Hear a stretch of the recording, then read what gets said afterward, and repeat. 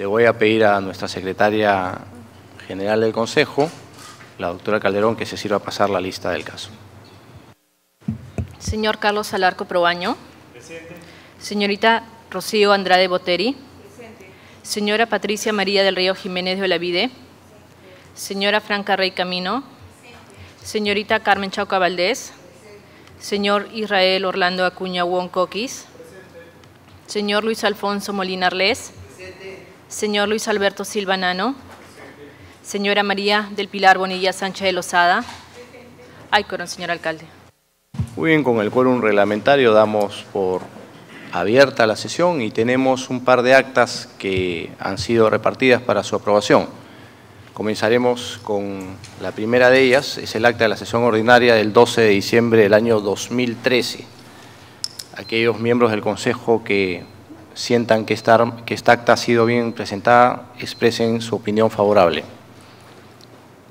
Ha sido aprobada por unanimidad. Muchas gracias. La segunda acta es, de fecha, es la, el acta de la sesión extraordinaria del 19 de diciembre del año 2013. ¿Algún comentario sobre la misma? Si no hay, procedemos a votar. Aquellos que estén a favor de la misma, si no se expresaron en señal de conformidad. Ha sido aprobada por unanimidad también. Vamos al siguiente punto, por favor, señorita secretaria general. Estación Despacho. Señor alcalde, la Secretaría General ha recibido diversas comunicaciones, las mismas que se va a proceder a dar lectura. La primera de ellas es una carta proveniente de la Embajada Británica de Lima, suscrita por el embajador británico James Dowris. Estimado alcalde, le escribo para agradecer la participación de un grupo de miembros del Serenazgo de Miraflores en un reciente incidente. El 9 de diciembre se declaró un incendio en el departamento del agregado comercial de la Embajada Británica, ubicado en la calle Las Dalias 112 Miraflores. Antes de que llegaran los bomberos, un equipo de serenos de la municipalidad entró en acción. Uno de ellos incluso llegó a trepar por los balcones de los departamentos vecinos y rompiendo una ventana logró ingresar al departamento que se estaba quemando, permitiendo el ingreso del resto del equipo. Entre todos lograron apagar el fuego. Los serenos que participaron en esta valerosa acción fueron los señores Zampén, Arellano Rosales, Castro Segura, Lébano Castañeda, Flores Sánchez, Toledo Miranda, Yanapa Guaranca, Cáceres Choqui, Ibarra de la Cruz y Cueto Torres. La embajada está sumamente agradecida a estos valientes serenos cuya intervención, que ciertamente fue más allá del mero cumplimiento del deber, evitó que las consecuencias del incendio fueran mucho más graves. Un abrazo cordial, James Dowris, embajador británico. La otra comunicación es remitida por la Municipalidad de La Victoria, suscrita por el alcalde Alberto Sánchez Aiscorbe. Señor alcalde, de mi consideración, es grato dirigirme a usted con el objeto de expresarle el sincero agradecimiento de la Municipalidad de La Victoria con motivo del valioso apoyo brindado por vuestra entidad mediante el envío inmediato de una cisterna que contribuyó a extinguir el incendio de grandes proporciones ocurrido en nuestro distrito el día martes 10 de diciembre del 2013. En tal sentido, estimo necesario hacer extensivo el reconocimiento de nuestros vecinos y el mío propio por el espíritu de colaboración demostrado por vuestra entidad, el cual ha permitido fortalecer y afianzar los lazos de cooperación entre nuestras instituciones y nuestras comunidades. Sin otro particular, hago propicio la oportunidad para expresarle los sentimientos de mi más distinguida consideración y estima personal. Atentamente, Alberto Sánchez Escorbe, alcalde de la Municipalidad de La Victoria. La otra comunicación es remitida por el subteniente del Cuervo de Bomberos del Perú, Alan Ricardo Nieto, de la Compañía de Bomberos Miraflores 28. Estimado alcalde, me dirijo a su despacho con la finalidad de hacer un reconocimiento con tenor de agradecimiento por la intervención oportuna y eficiente de Serenazgo del Distrito de Miraflores, conjuntamente con el personal de la ambulancia de emergencia del distrito de Miraflores, en la emergencia ocurrida en el área de juegos infantiles del Parque Kennedy el día jueves 2 de enero del presente año, de la cual mi hijo de un año y diez meses fue protagonista. Mis hijos de cuatro y el menor de un año y diez meses se encontraban jugando en el área recreativa del Parque Kennedy, como todos los días, junto con las personas que trabajaban apoyándonos con su cuidado y en un momento el menor de mis hijos pasó por delante de los columpios en el cual una niña se encontraba jugando y de manera accidental mi hijo recibió un golpe en la frente que le originó un corte bastante profundo. La intervención de los efectivos de serenazgo que se encontraban en ese momento en esa zona del parque fue inmediata. Se acercaron para ver los daños y se comunicaron inmediatamente con la ambulancia del distrito, que acudió en muy corto tiempo al lugar. Mi hijo fue atendido, curado y trasladado a la clínica de manera oportuna y segura, quedando a buen recaudo. Él recibió 12 puntos de sutura entre la ceja y la frente, considerando este acontecimiento realmente una emergencia. Soy bombero voluntario de la compañía Bomberos Miraflores número 28 con el grado de subteniente y hemos compartido muchas emergencias con el personal de Serenazgo y de la ambulancia de Miraflores. Y al tocarle a un miembro de mi familia ser parte de una emergencia y ser tratado con la misma eficiencia que tratamos de brindarle a los vecinos y a la sociedad en general, siento que avanzamos dentro de la eficiencia bajo un fin común que es servir. Sin otro particular y quedando a su entera disposición, los saludo. Subteniente de la Compañía de Bomberos del Perú, Alan Ricardo Nieto. La otra comunicación es remitida por la señora Gloria Chacón de Popovici. Estimado alcalde, permítame saludarlo y desearle un feliz y próspero año nuevo en unión de su distinguida familia y del personal y empleados que laboran en su institución. He recibido su amable carta de diciembre, el 3 de enero del presente año, en la cual me hace conocer vuestro reconocimiento por el cumplimiento de mis obligaciones tributarias y me otorga la tarjeta BPM, como distinción y como también de otros beneficios y promociones, al igual que un seguro de emergencia en el hogar. Agradezco por su amable carta, tarjeta y beneficios que usted me otorga y felicitarlo por su ardua labor que realiza para mantener una ciudad renovada y ordenada, mejorando la calidad de vida, como también de los premios que ha recibido por mejor seguridad de la ciudad por la organización no gubernamental Ciudadanos al Día al igual de parte de Vida por la prevención de drogas. Reciba mis cordiales saludos y agradecimiento. Atentamente, Gloria Chacón de Popovici.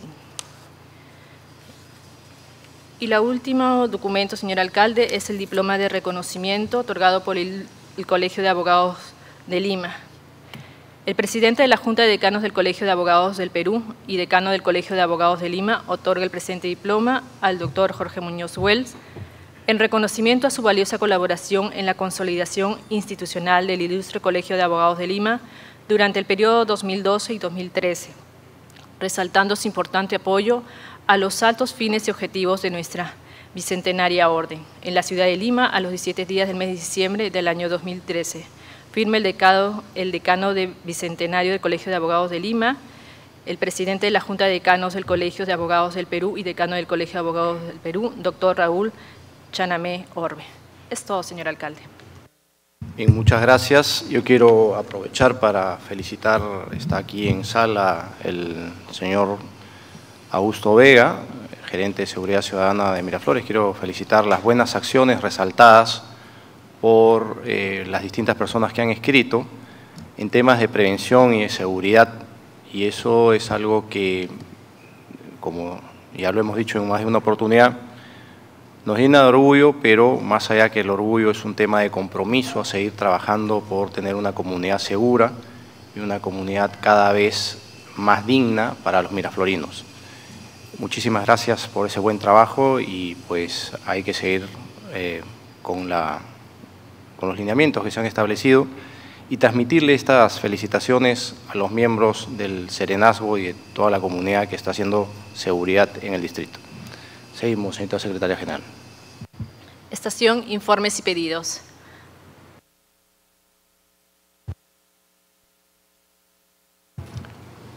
Tiene el uso de la palabra el señor Molina, que ha levantado la mano. Buenos días a todos. Cumpliendo eh, eh, mi función de regidor otorgada por la Ley Orgánica de Municipalidades, que es la, la facultad de normar el día de hoy he presentado un proyecto de ordenanza a la Comisión de Asuntos Jurídicos sobre la reglamentación para la denominación de vías y áreas públicas en el distrito de Miraflores. Este proyecto de ordenanza consta de seis artículos y una disposición transitoria.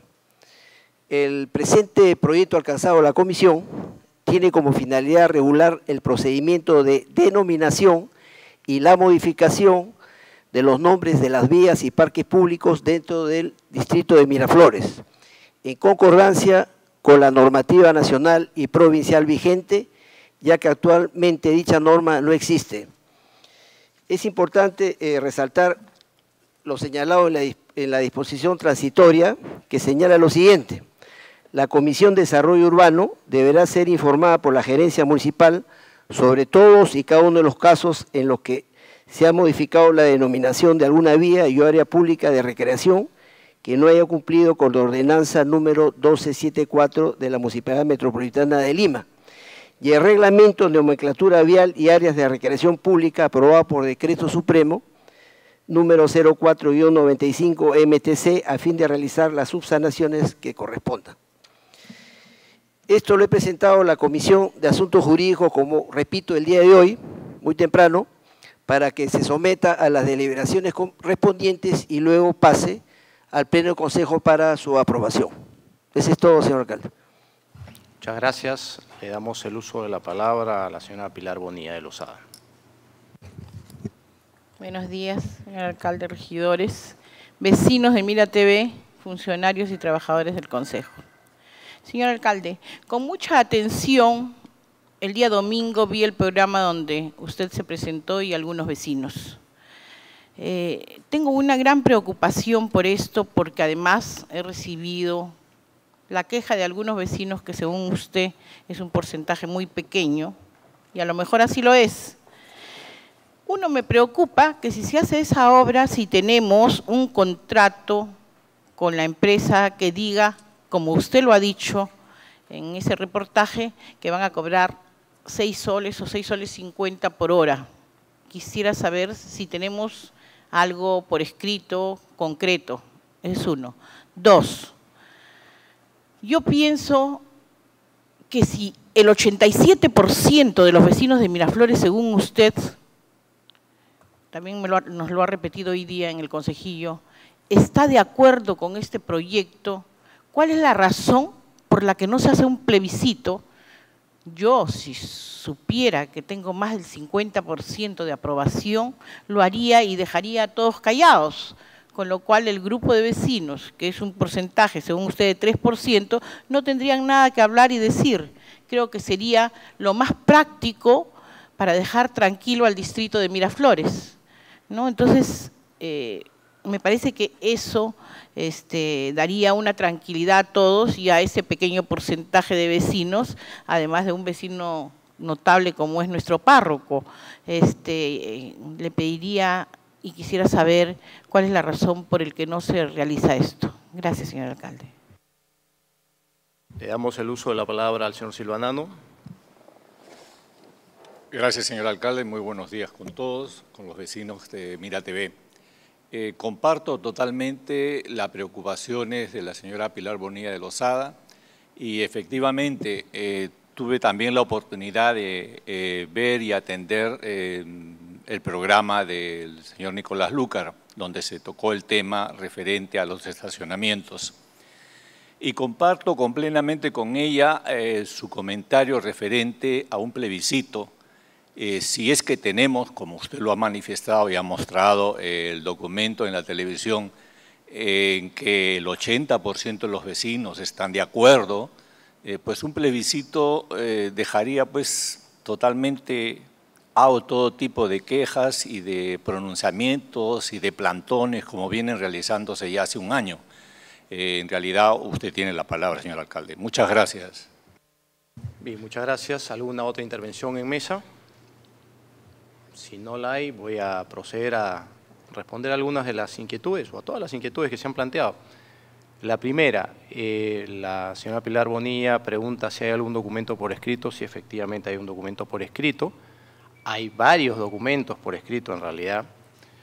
Hay un contrato donde se establece la tarifa, un contrato que ha sido visto también en el Consejo, un contrato que se colgó desde el primer día que este estuvo listo en la página web, y que se puso a disposición de la Contraloría también como parte de una transparencia, donde se establece que hay una tarifa máxima, un techo de 10 soles. Esa tarifa máxima no significa que se va a cobrar el máximo necesariamente. Es el techo, es el tope. Nosotros nos dirigimos a la empresa concesionaria y les pedimos que precisen cuál iba a ser el precio que se iba a cobrar. La empresa concesionaria ha dicho que lo que se va a cobrar son seis soles por hora. Seis soles por hora significa que eh, ese va a ser el rango y que además, según lo que está establecido en el contrato, se va a cobrar por minutos, ¿correcto? Eso tiene un beneficio que hace que la playa sea la playa más económica de todo Lima. Y aparte, ustedes mismos aprobaron cuando se discutió el tema de las bases que debía haber una tarifa preferencial para los vecinos miraflorinos. Y esa tarifa era una tarifa de la primera media hora liberada. Con eso, el vecino miraflorino no solamente va a tener una playa de estacionamiento moderna, que se va a cobrar por minutos en realidad, sino que además va a ser un cobro muy justo. Primera media hora liberada y después los otros minutos se van a ir cobrando. Con esto que he dicho, por ejemplo, la primera media hora liberada para el vecino miraflorino, los siguientes 10 minutos, o sea, 40 minutos de uso de la playa, le va a costar un sol. 50 minutos le va a costar dos soles. 60 minutos llegarán a tres soles aplicando una regla de tres ahí, en ese aspecto. Creo que eso trae beneficios que son realmente positivos. Eso está en blanco y negro, está escrito y ese es el compromiso de la concesionaria. Con relación a los temas que están eh, vinculados con la construcción, hay técnicas constructivas que son muy claras, responsables. Hay, y ya se lo explicó también en el consejillo usted, regidora, el ingeniero Alarco, que es un técnico en la materia, una persona que conoce muchísimo estos detalles, hay el uso de zapatas y muros pantalla que permiten un anclaje correcto y adecuado para las calzaduras y que hace que no hayan riesgos. Sería ilógico pensar que la Municipalidad de Miraflores quiere generar una obra para dañar a algún tercero. Eso es antinaturaleza. Eso es, vuelvo a repetir, contra la lógica. La Municipalidad de Miraflores quiere hacer una obra para generar desarrollo y para servir al bien común de los ciudadanos. Tenemos que explicar esto un poco más quizá para que no haya ninguna suspicacia o sutileza de parte de aquellos que presentan esto como una preocupación. Pero hay que ser sinceros, detrás de todas estas preocupaciones que son válidas, reales, atendibles, hay un grupo humano que está queriendo utilizar políticamente las cosas. Sabemos quiénes son, sabemos qué quieren, sabemos cuáles son sus intenciones. Entonces, no caigamos en ese juego. Yo, como he pedido y he dicho en más de una oportunidad, no hagamos que los juegos políticos retrasen el desarrollo de una ciudad. ¿Les parece justo que se retrase el desarrollo de una ciudad por un juego político? A mí en lo personal no. ¿Nos parece justo que las personas tengan que dar vueltas en torno al parque central para conseguir un estacionamiento adecuado? En lo personal tampoco estoy de acuerdo ni me parece justo. Nos parece justo que tengamos situaciones donde se estén teniendo estacionamientos antitécnicos, donde hoy en día lo único que se genera es caos, tampoco es justo. Entonces hay que tener muchísimo cuidado con relación a esas cosas. Se ha hablado también de hacer un plebiscito. ¿Por qué no se hace un plebiscito? Porque la ley no establece ese tipo de cosas. La ley es muy clara. La ley establece una serie de pasos y de tractos que son los que se han cumplido yo he mostrado una encuesta, que es una encuesta hecha por una empresa de mucho prestigio como es Ipsos, donde se ha dicho que el 83% de los vecinos miraflorinos están de acuerdo con la obra.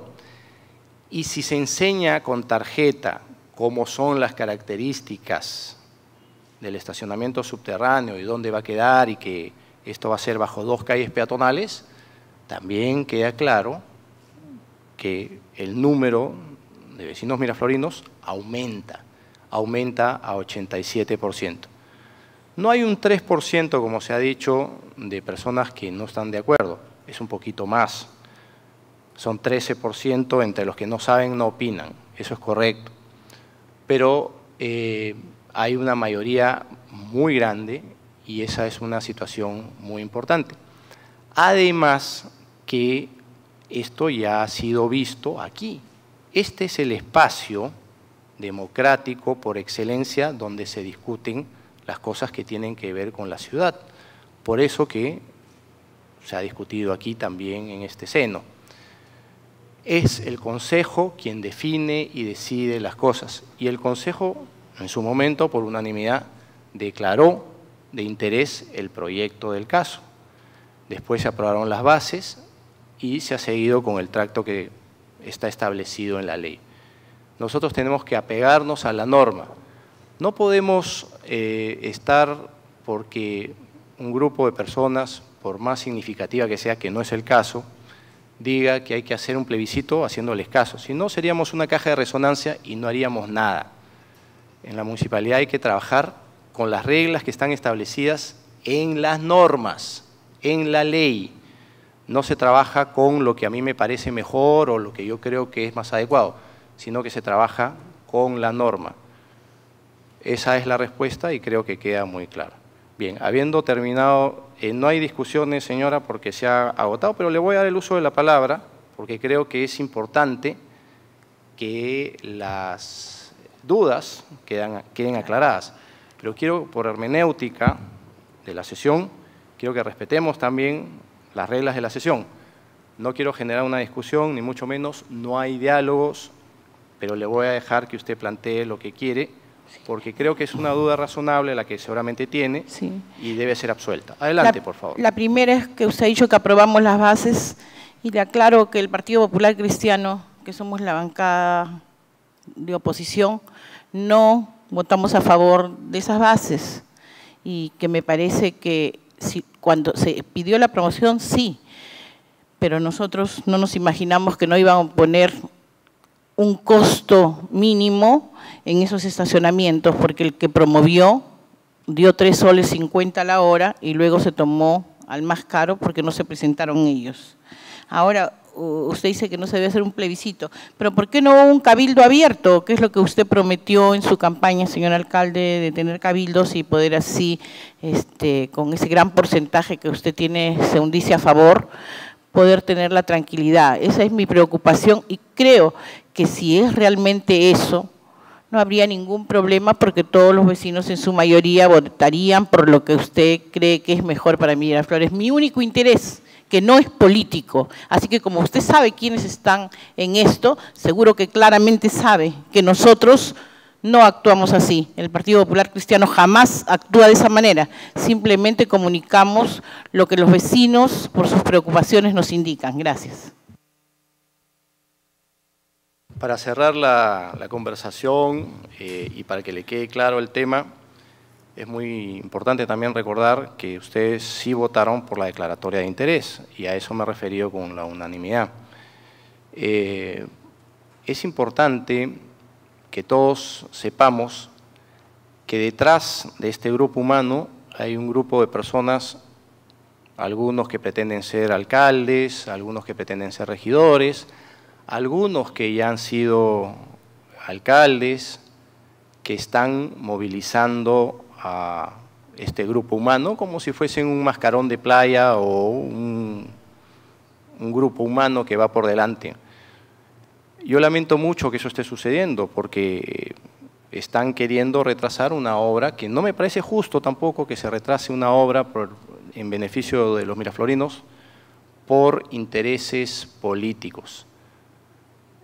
Yo no la he personalizado a usted, ni mucho menos. Sabemos, reitero, quiénes son en su momento lo podremos develar, pero está muy claro que hay, reitero, un minoritario grupo con relación a Miraflores en general, que tienen esos intereses. Y usted menciona que ¿por qué no hacemos un cabildo abierto? Todos los miércoles tenemos cabildos abiertos en esta municipalidad, señora Pilar Bonilla, y usted lo sabe. Nosotros hemos recibido más de 6.000 vecinos aquí en Miraflores y las voces de los vecinos se han atendido.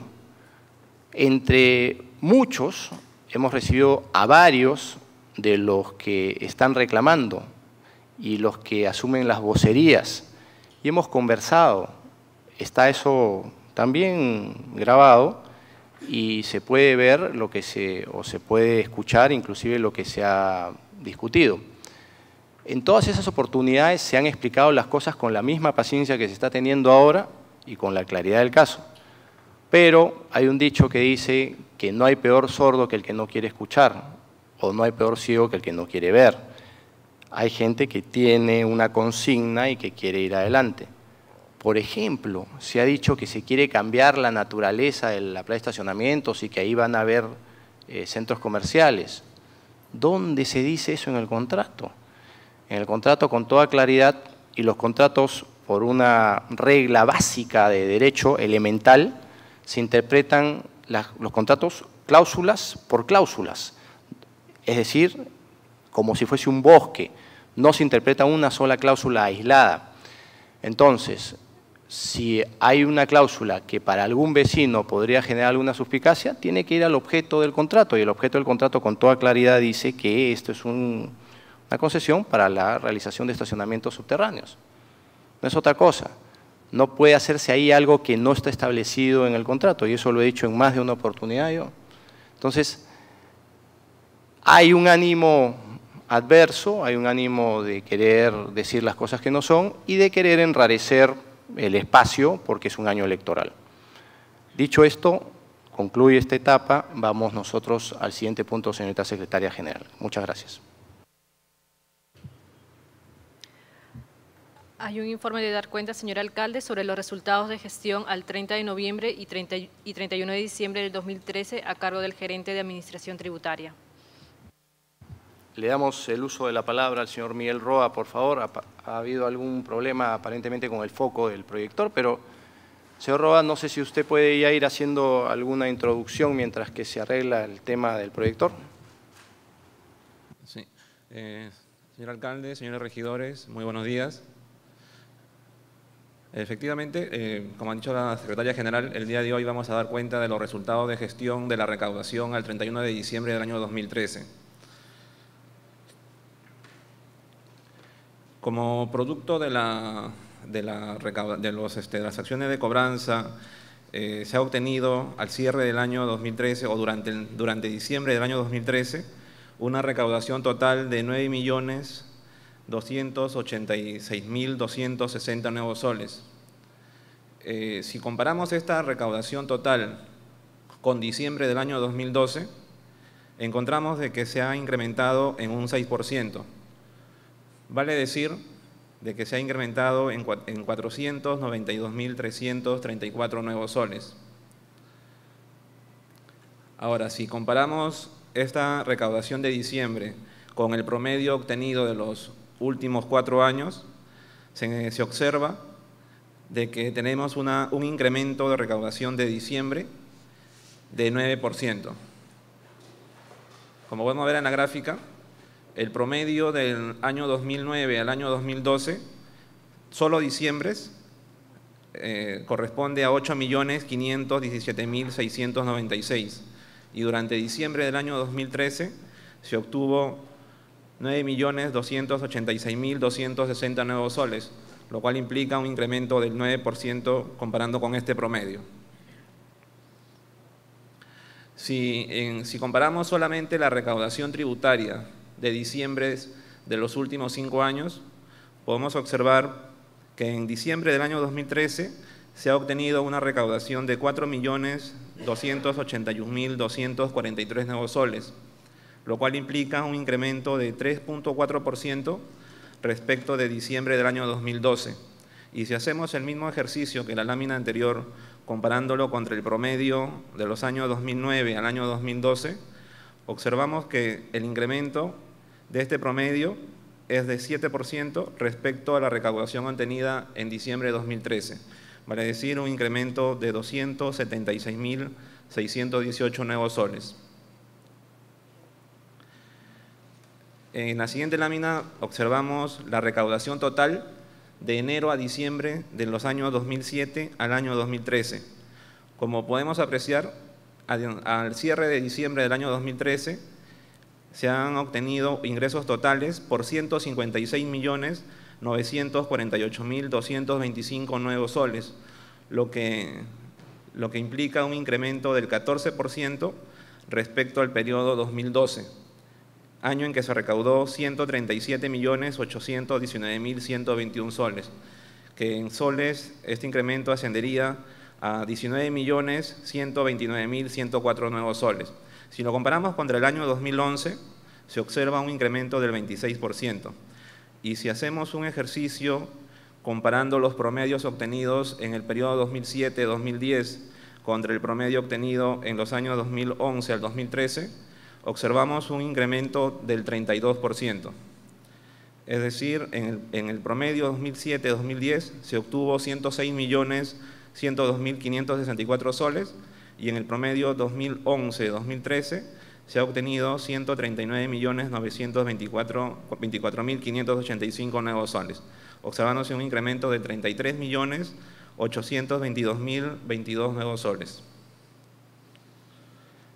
Si en la presente lámina observamos eh, los incrementos por los principales ingresos que tenemos en la municipalidad. En las dos primeras barras observamos, los ingresos tributarios, en las, en las, barras del centro los ingresos no tributarios y en las, en las barras más a la derecha observamos las transferencias. En los ingresos tributarios básicamente están los, los ingresos directamente recaudados, llámese impuesto predial y arbitrios municipales. En los ingresos no tributarios, multas administrativas, licencia de construcción, autorizaciones de funcionamiento y en transferencias corresponden a las transferencias que, se hacen por impuestos de tragamonedas, alcabala y casinos. La primera lámina que corresponde a ingresos tributarios, observamos que durante el año 2013 se han, obtenido ingresos por 97.108.153 nuevos soles, lo cual implica un incremento de 12%, que expresado en soles corresponden a 10.471.061 nuevos soles respecto al año 2012. En ingresos no tributarios también se observa un, incremento considerable del 34%, que en, en soles corresponden a 7.066.472 nuevos soles. Y en transferencias, un incremento del 5%, explicado básicamente por el incremento de los ingresos por, por el impuesto de la alcabala. En la siguiente lámina presentamos los ingresos tributarios de los últimos siete años, del año 2007 al año 2013. Como podemos apreciar, como se indicó en la lámina anterior, el incremento del año 2012 respecto del año 2013 ha sido del 12% y el incremento del año 2013 11 respecto al año 2013 del 20%. Vale decir que se ha incrementado del año 2011 al año 2013 en 16.040.945 nuevos soles. Y si hacemos el mismo ejercicio que en una de las láminas anteriores de hacer los promedios 2007, 2010 y el promedio 2011-2013, observamos que entre estos promedios existe un incremento del 35% es decir, un incremento de 22.647.925 nuevos soles. En esta penúltima lámina observamos la efectividad de cobranza, ¿no? la efectividad de cobranza expresada o este, entendida como lo que se recauda respecto de lo que se emite año, en el año corriente. Como podemos apreciar en la primera línea, la línea roja, se presenta la efectividad de cobranza del impuesto predial, como se puede observar, durante los años 2011, 12 y 13 hemos obtenido similar efectividad de cobranza. Estamos manteniendo la efectividad de cobranza del 93%. Es decir, tenemos únicamente 7% de lo que se emite del impuesto predial que no se logra recuperar en el año corriente. en el año corriente. De igual manera, podemos apreciar en los arbitrios de serenazgo que se ha incrementado eh, a 77%, En parques y jardines se observa una pequeña, una pequeña disminución de un punto porcentual. En limpieza pública se observa un incremento de dos puntos porcentuales y en general se está manteniendo la efectividad de cobranza obtenida en el año al cierre del año 2012.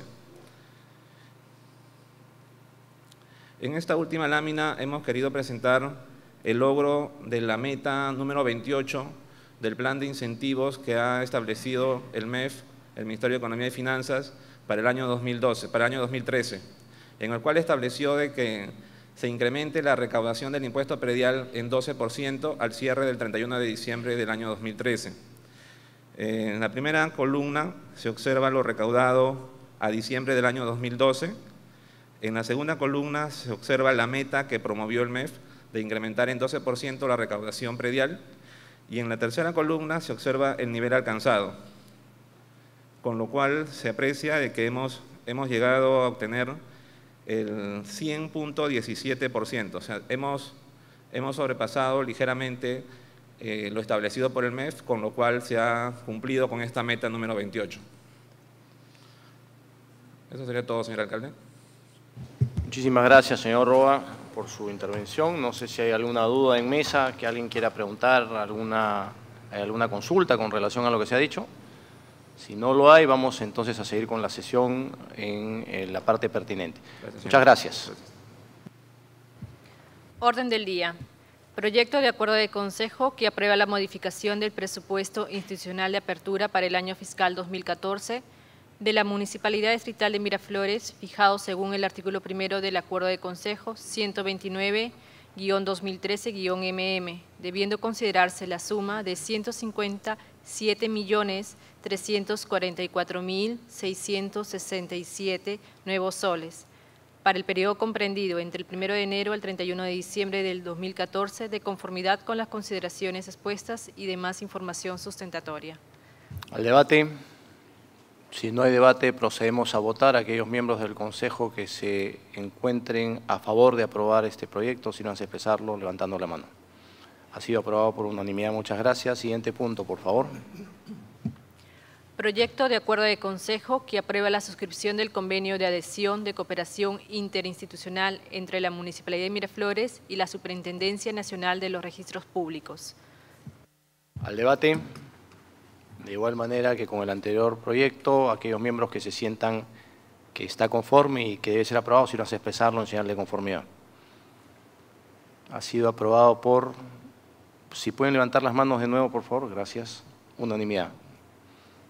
Siguiente punto, por favor. Proyecto de acuerdo de Consejo que aprueba la suscripción de la adenda número 1 al convenio de cooperación interinstitucional entre la Municipalidad de Miraflores y la Unidad de Film de la Filmoteca de la Pontificia Universidad Católica del Perú. Al debate. No habiendo debate, procedemos a votar. Aquellos miembros del Consejo que consideren aprobar este proyecto, si lo han expresado en señal de conformidad levantando la mano. Ha sido aprobado por unanimidad. Muchas gracias. Siguiente punto, por favor. Proyecto de acuerdo de Consejo que apruebe el convenio de cooperación interinstitucional entre la Municipalidad de Miraflores y Prosegur Activa Perú S.A. Al debate. Señor Pilar Bonilla, eh, señora Pilar Bonilla, perdón, tiene el uso de la palabra. Señor alcalde, no estuve en esta reunión, pero luego me informé, no me habían mandado la información correspondiente y por eso al comienzo no voté a favor, pero luego sí, después de ver que esto era importante para Miraflores. Y además, ya que no lo dije, quiero felicitar al señor Augusto Vega, porque hemos escuchado que le han mandado unas comunicaciones por cumplir con su deber. Creo que esa es la obligación de todos los funcionarios, pero hay que relevarla cada que lo hagan. Gracias, señor alcalde. Muchísimas gracias. Con esa intervención, no habiendo otras en mesa, vamos a proceder a votar. Aquellos miembros del Consejo que quieran aprobar este proyecto, síganse expresarlo levantando la mano en señal de conformidad. Ha sido aprobado por unanimidad. Muchísimas gracias. Creo que no hay más puntos, señora secretaria general. Es todo, señor alcalde. No habiendo más puntos que tratar, pido que eh, se apruebe la exoneración de la aprobación del acta para la ejecución inmediata de los acuerdos tomados esta mañana. Aquellos miembros del Consejo que estén a favor, sin expresarlo en señal de conformidad, se ha aprobado por unanimidad. Muchísimas gracias. Se levanta la sesión.